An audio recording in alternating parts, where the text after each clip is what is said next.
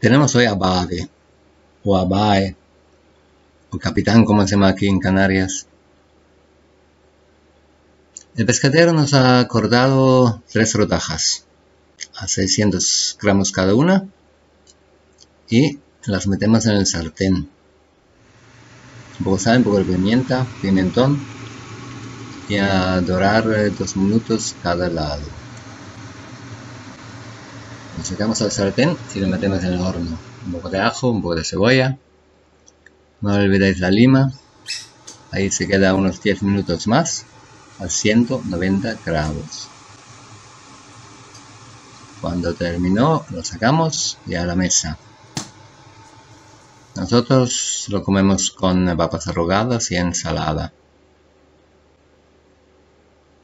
Buen provecho.